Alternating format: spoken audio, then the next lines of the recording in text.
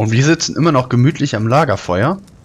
Und werden natürlich jetzt mal mit den Leuten weiterreden und kurz dann die Beweise finden. Wir haben mit ihr gesprochen, jetzt sprechen wir mal mit Borea. Berührt nichts und versucht nicht zu tief einzuatmen. Die Krankheit ist überall. Überall! Das Leiden? Wie komme ich jetzt auf das Leiden? Naja, ich komme jetzt auf das Leiden. Fragezeichen. Die Seuche. Sie ist in der Luft und im Wasser und selbst auf der Haut. Sie kriecht und gräbt und bohrt sich immer tiefer in einen hinein. Versteht ihr denn nicht? Es ist nicht sicher. Und sie beobachten uns. Sie beobachten uns die ganze Zeit. Da hilft nur eins. Jetzt fühle ich mich richtig eklig. Da hilft nur eins. Ein Aluhütchen. so. Okay, da haben wir das erst, erste Hinweis. Ein Heilmittel. Ein leeres Getränk. Wir nehmen das volle. Fünf Stück. Okay, das ist alles leer. Was haben wir mit ihr hier? Bitte, mehr Heilmittel. Ich brauche mehr Heilmittel. Das klingt schon fast, als wären die danach süchtig. Könnt ihr mir sagen, was hier vor sich geht? Die Wunderheilerin. Sie kommt und geht. Ich glaube nicht, dass das Heilmittel wirklich hilft, aber sie meinte, es würde erst noch schlimmer werden, bevor es mir wieder besser geht. Es fühlt sich an, als ob ich verbrenne. Diese Nixflöhe haben versprochen, sie würden helfen. Sie haben uns ein Heilmittel versprochen. Ich finde es gut, dass sie auch mit interagiert. Das äh, hätte ich jetzt ehrlich gesagt von dem Spiel nicht erwartet. Also beim Online-Spiel ist das doch schon sehr, sehr außergewöhnlich. Sobald ich genesen bin, werde ich mich den Leidgeborenen anschließen. Ich will anderen helfen, wie sie mir geholfen haben. Na dann, lebt wohl. Ob die wirklich helfen? So, unsere erste Gruppe. Ähm, das sind ziemlich viele. Da gehe ich aber direkt in den Nahkampf. Ah, Moment, die kommt hier rüber. Nee, tut sie nicht. Nein, so.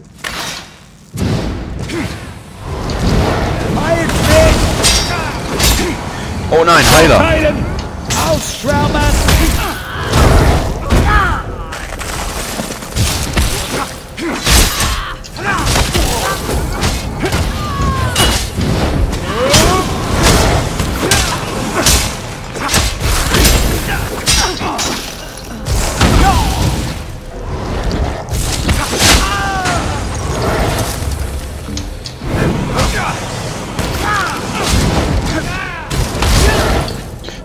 Verdammter! Verdammt! Letzter Schaden, okay. Hinweis, verwenden Qual oder Aspekt des Schreckens, wenn ihr mehrere Gegner gleichzeitig gegenübersteht, um eure Chance zu erhöhen. Ja, haben wir gemacht. Schwere Angriffe verursachen höheren Schaden, müssen noch voll aufgeladen werden, um einen besseren Effekt zu erzielen, ja. Verliert 10% ihrer Heilkörper, wenn ihr sterbt.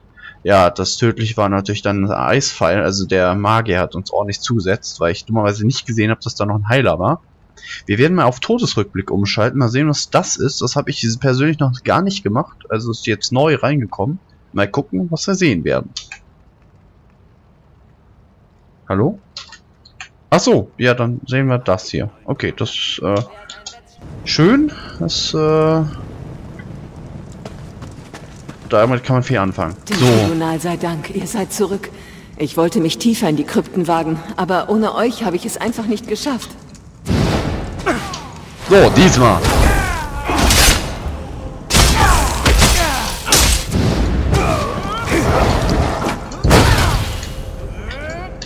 Und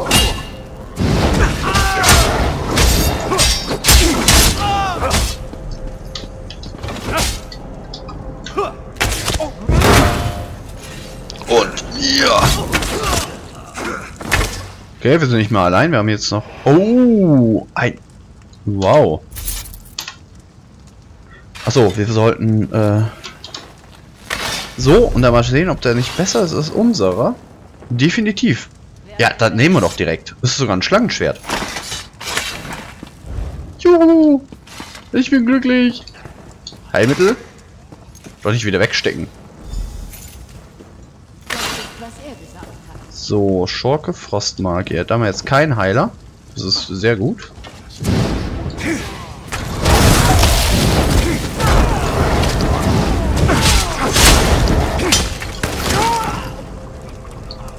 Achso, ja, er hilft uns. Also hilft uns. Deswegen kriegen wir auch bessere Drops hier. Wenn ich es richtig verstanden habe.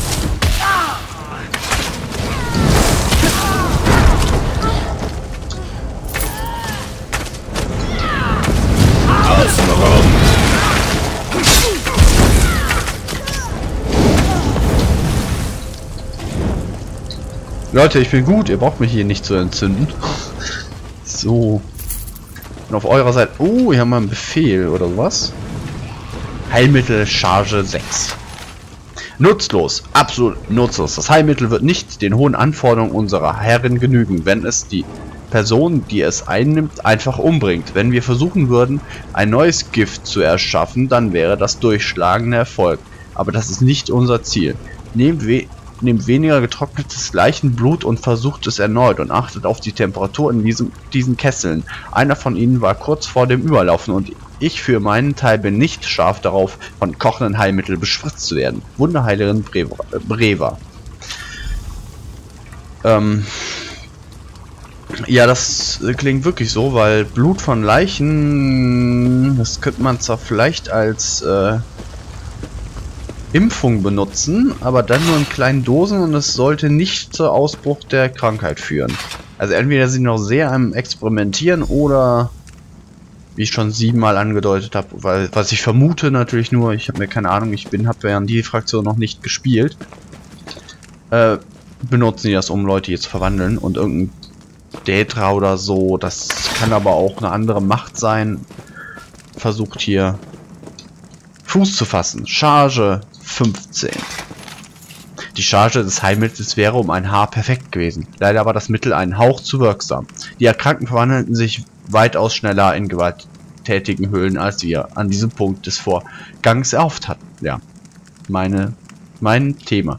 So, mal gucken, wer dahinter steckt. Das interessiert mich auch noch. Und wie wir sie aufhalten. Vielleicht wird äh, diese Mixtur uns später noch nützlich sein, wenn wir schnelleren Nachschub an untoten Soldaten brauchen, aber fürs Erste können wir mit dieser Charge nichts anfangen. Eine interessante Nebenwirkung dieser Charge des Heilmittels ist die Aggressivität, die die, no äh, die, die neu erschaffenen Hüllen zeigen. Sie werden auf der Stelle gewalttätig und betrachten alles, was sich bewegt, als einen Feind oder als Nahrung. Diese Hüllen waren auch völlig unbeeindruckt von den Höhlengeruch, den wir auftragen, wenn wir in ihrer Nähe arbeiten. Sie griffen unsere, Mit unsere Arbeiter an. Sobald sie sahen, was nahegelegt, was nahegelegt, dass der Achso, was nahelegt, dass der Geruch uns nicht vor Höhlen schützt, die mit dieser Version des Heilmittels erschaffen wurden. Äh, Heilmittel ist schon, schon Zynismus hoch 7. Erhöhen wir alles bei den, der nächsten Charge die Kochzeit also bei der nächsten Charge die Kochzeit um eine Stunde und senken wir die Menge an Wolfsgalle um ein Viertel. Wunderin, Heilerin, Breva. So viel zur Wunderheilerin. Die verursacht hier, naja, die nimmt den Menschen hier das Leben und verwandelt sie in hirnlose Supersoldaten. Was natürlich der, äh, was heute noch ein oder andere Armee gerne hätte.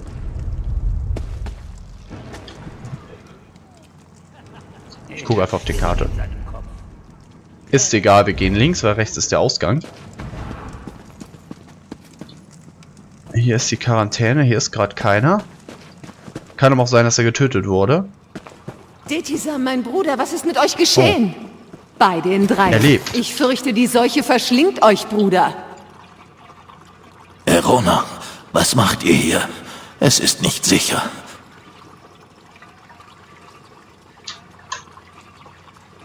Die Leidgeborenen haben uns angegriffen und die Befallenen verwandeln sich in Seuchenhüllen. Die Leidgeborenen verbreiten die Seuche. Aus irgendeinem Grund wollen sie, dass sich alle anstecken. Sie sind keine Heiler. Sie sind Monster.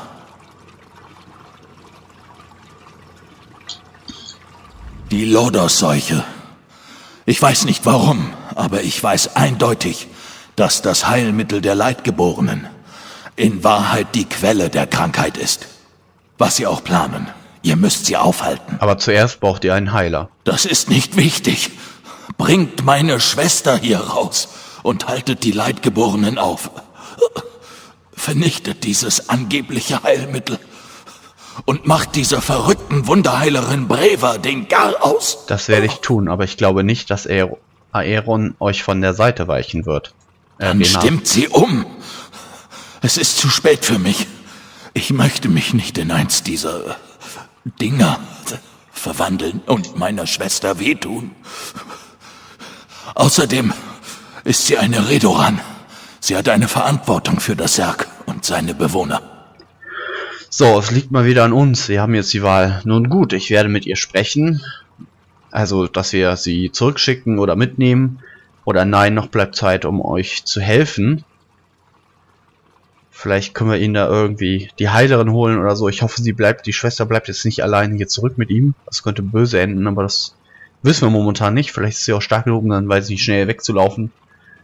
Wir werden einfach mal, noch bleibt Zeit, um euch zu helfen und sehen, was geschieht. Ihr seid genauso dickköpfig und stur wie meine Schwester. Möge Vivek euch verdammen. Na gut, tut, was getan werden muss. Aber falls das Undenkbare geschieht, erwarte ich von euch, dass ihr mich aufhaltet, bevor ich jemanden verletze. Natürlich. Detisam, du Svit. Wir lassen dich nicht zurück. Ich hoffe, ihr wisst, was ihr da tut. Ich könnte jeden Moment zu einer Seuchenhöhle werden. Meine Entscheidung ist endgültig. Zudem bist du krank und kannst nicht klar denken. Ich bringe dich hier heraus und unser Freund kümmert sich um die Leidgeborenen. Das ist ein guter Plan. Charge 19. Ah, endlich. Perfektion. Die letzte Charge Heilmittel beginnt die Erkrankung. Was?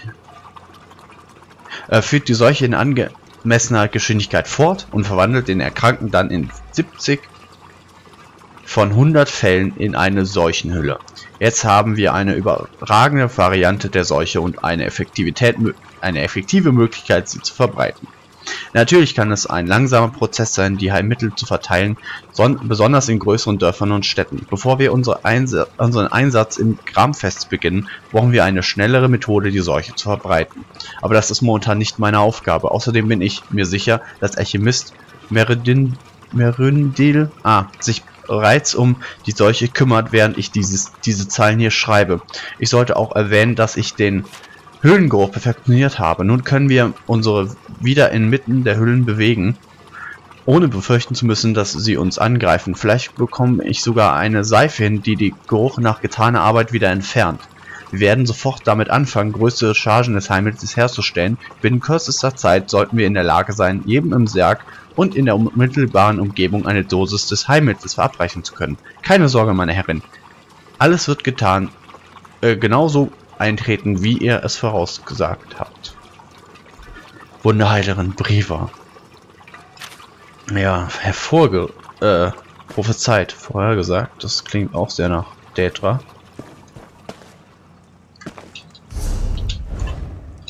Können jetzt mal rechts lang gehen. Ich glaube, das ist, das ist der Weg. Okay. Höhlengeruch.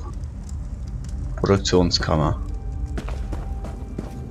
Ah, mit dem Höhlengeruch können wir uns natürlich einfach so... dann sind wir hier fertig. Packt alles zusammen. Wir müssen uns mit den anderen Kadern der Leidgeborenen neu formieren und diese Seuche über ganz Deschan verbreiten. Wo ist die? Ich sehe die gar nicht. Es geht um den Geruch. Okay, ich habe geduscht. Also, letztes Mal hattet ihr Glück. Wie oft muss ich es euch noch sagen? Wenn ihr mit diesen Seuchenhüllen arbeitet, müsst ihr den Geruch tragen.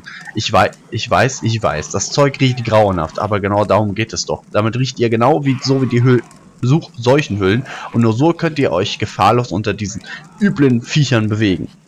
Wisst ihr noch, was mit dem Ke was mit Kenny passiert ist? Wir haben Kenny getötet. Sie hat sich ebenfalls geweigert, den Höhlengeruch aufzutragen hat sich beschwert, dass sie ihn nicht mehr aus den Haaren bekommt, egal wie oft sie sich wäscht. Und was hat ihre Eitelkeit ihr gebracht? Eine solche Hülle hat ihr das Gesicht abgefressen. Möchtet ihr das auch, dass e euch da dass euch das ebenfalls passiert? Also ich ganz bestimmt nicht. Und jetzt reißt euch zusammen und vergesst nicht, den Höhlengeruch aufzutragen Das möchte ich euch nicht nochmal sagen müssen. So, wir benutzen jetzt Seuchenhüllengeruch.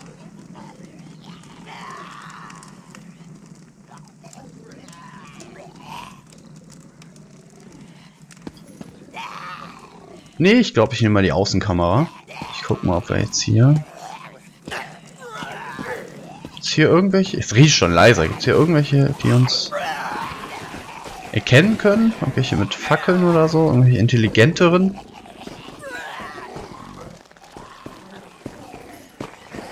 Vorsichtig, vorsichtig. Nicht, dass doch noch hier irgendjemand... Wir sollten vielleicht auch nicht gegen die laufen. So. Jetzt können wir wieder so langsam in die Innenansicht gehen. Okay, wir sind jetzt hier direkt vom Lagerleit Denk daran, dass unsere Mission heilig ist. Bald wird ganz Morrowind von den Leitgeborenen wissen. Ja, und da das so eine spannende Stelle ist, würde ich sagen, Seid vorsichtig damit. machen wir den Rest in der nächsten Folge. Und sehen mal, ob wir das schaffen oder bei der Anzahl der Menschen hier. Der nächste von euch, der ein Fass fallen lässt, wird an die Seuchenhüllen verfüttert. Der, äh, das erfahren wir in der nächsten Folge.